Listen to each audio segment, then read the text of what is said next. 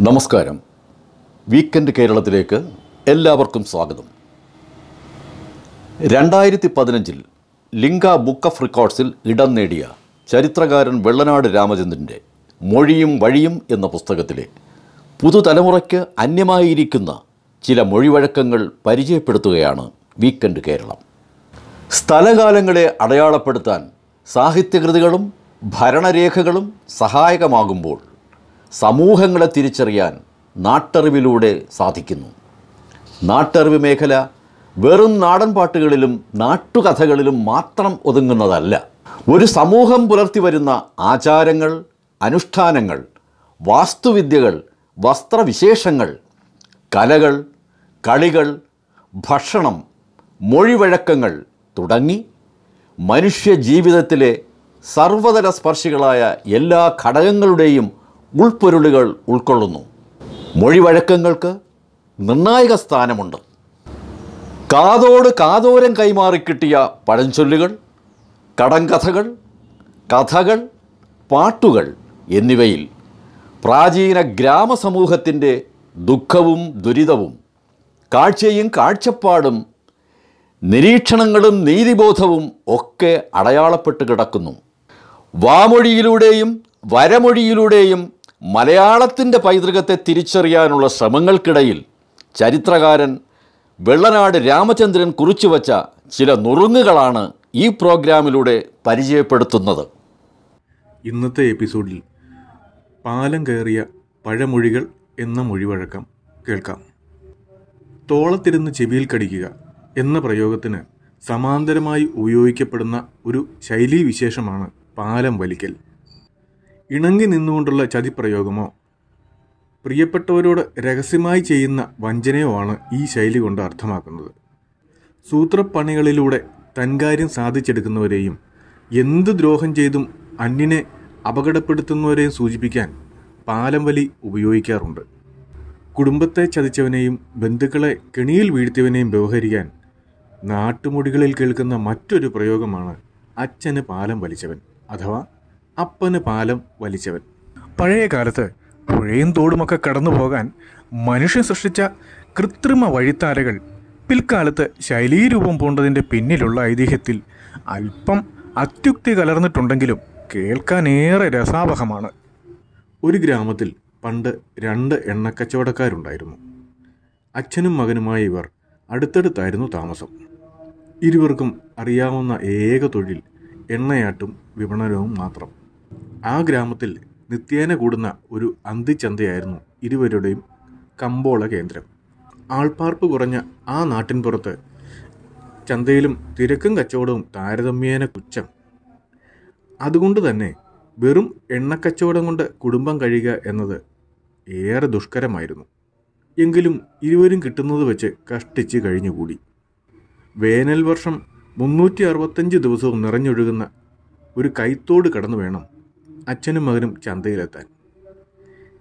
ഇന്നത്തെ രീതിയിലുള്ള പെരുവഴികളും പാലങ്ങളും ഇല്ലാതിരുന്ന കാലത്ത് തോട് മുറിച്ച് കിടക്കുവാൻ രണ്ട് കമുകിൻ തടികൾ ചേർത്ത് കിട്ടിയ ഒരു താൽക്കാലിക പാലം മാത്രമാണ് ഉണ്ടായിരുന്നത്. എന്നും ഇരുവരും ഓരോ കുടം എണ്ണയുമായി പാലം കടന്ന് ചന്തയിലെത്തും.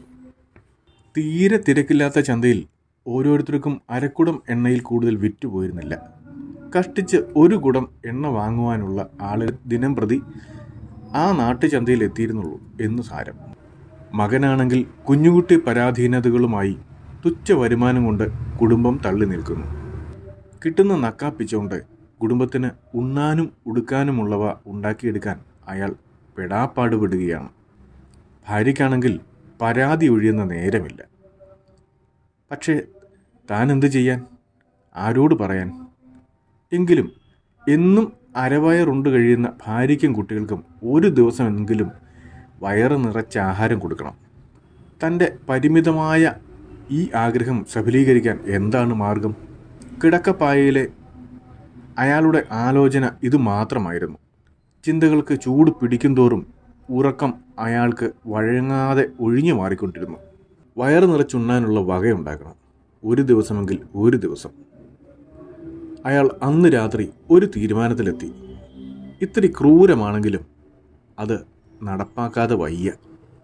കാരണം നാഴികതോറും ആവർത്തിച്ചുകൊണ്ടിരിക്കുന്ന രോഗാവസ്ഥയാണല്ലോ വിശപ്പ്. അതിന് ഒരു ദിവസത്തേക്കെങ്കിലും ശമനം വേണം. പിറ്റേ ദിവസം ഒരു കുടം എണ്ണയുമായി അയാൾ പതിവിലും നേരത്തെ ചന്തയിലേക്ക് തിരിച്ചു. പാലം കടന്ന് തോട്ടിനക്കരെ എത്തി. സാവധാനം എണ്ണക്കുടം നിലത്തിറക്കി വെച്ചു. എന്നിട്ട് അയാൾ ആ കമുകിൻ പാലം വലിച്ച് അക്കരയ്ക്കിട്ടു ആയാസകരമെങ്കിലും ചുരുങ്ങിയ സമയം കൊണ്ട് കാര്യം നടത്തിയിട്ട് അയാൾ ചന്തയിലെത്തി. പിതാവും പതിവ് പോലെ ചന്തയിലേക്ക് തിരിച്ചു. ഒരു കുടം എണ്ണയുമായി തോട്ടിൻകരയിലെത്തിയപ്പോൾ പാലമില്ല. അദ്ദേഹം പാലം വലിച്ചവനെ ശപിച്ചുകൊണ്ട് വീട്ടിലേക്ക് മടങ്ങി. അന്നത്തെ ചന്തയിൽ മകന്റെ എണ്ണക്കച്ചവടം പൊടി പൊടിച്ചു. അന്ന് ഭാര്യയും മക്കളും സസുഖം ഉണ്ടുറങ്ങി. പക്ഷേ നിദ്രാദേവി അയാളെ അനുഗ്രഹിച്ചില്ല. മനസ്സിന്റെ അറ്റത്തെവിടെയോ ഒരു നീറ്റൽ. അയാൾ തിരിഞ്ഞും മറിഞ്ഞും കിടന്നു. ഈ പാലം വലിച്ച സംഭവം അങ്ങാടിപ്പാട്ടായി. ഗ്രാമസമൂഹം പൊടിപ്പും തൊങ്ങലും വെച്ച് കഥയാക്കി ചമച്ച് കാതോട് കാതോരം പറഞ്ഞു പരത്തി. ക്രമേണ പാലം വലി ഒരു ശൈലിയായി. ഈ വാമൊഴി ശൈലിയെ പിന്നീട് വരമൊഴി ദത്തെടുത്തു. ആകസ്മികമായി നടന്നൊരു സംഭവം ഐതിഹ്യമായി വാമൊഴി പ്രയോഗമായി വരമൊഴി ശൈലിയായി മാറുന്ന ഒരു പരിണാമ പ്രക്രിയ ഇത്തരത്തിലുള്ള മിക്ക നാട്ടുമൊഴികളുടെയും പുരാവൃത്തം പരിശോധിച്ചാൽ മനസ്സിലാകും. പാലം പണിതു തന്ന നിരവധി ശൈലീ രൂപങ്ങൾ മലയാളത്തിൽ വേറെയും കാണാം.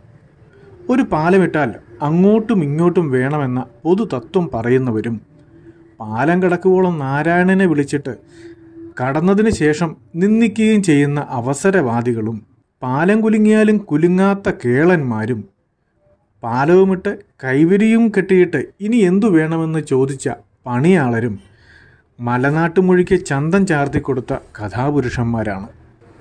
വീക്കെൻഡ് കേരളത്തിന്റെ അടുത്ത എപ്പിസോഡിൽ പുതിയ വാമൊഴി പ്രയോഗങ്ങളുമായി എത്തുന്നവരെ നന്ദി നമസ്കാരം.